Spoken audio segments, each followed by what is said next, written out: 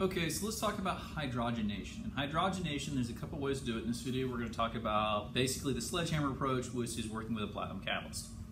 So let's start easy. Let's look at ethylene.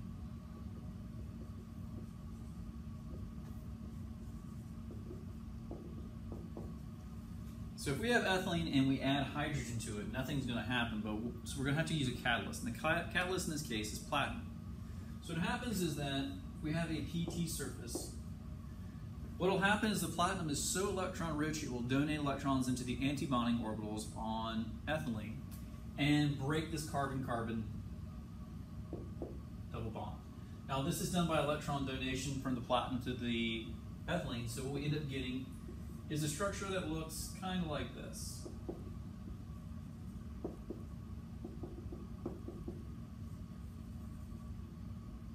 Then bond to the PT. To this, we're going to add hydrogen. Now, hydrogen is going to dissociate onto the platinum surface before it does anything with this ethylene. So by its own, H2 doesn't do anything. On platinum, we form platinum hydride, PTH2. The H2 here will add to this side of the carbon ring. So we'll end up with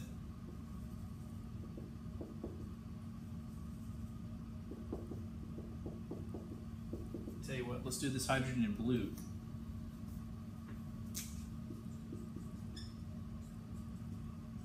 With the addition of hydrogen to the same side of this bond. Now this is going to matter in terms of stereochemistry. When we do an addition with platinum, the H2 are added cis to each other on, in the terms of the bond. So if there is stereospecificity with these two groups, these two groups are going to end up on the same side of the double bond when the hydrogen gets added. So basically they're going to have the same uh, uh, wedge, wedge dash notations. Uh, they're going to be on the same side. Big picture.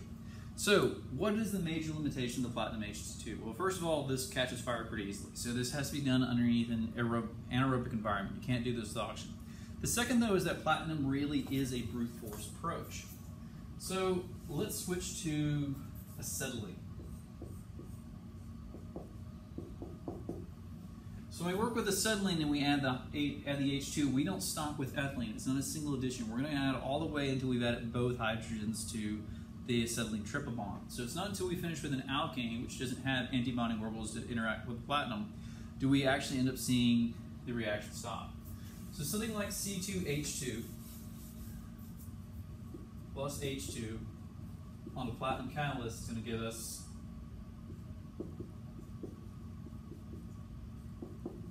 substitution.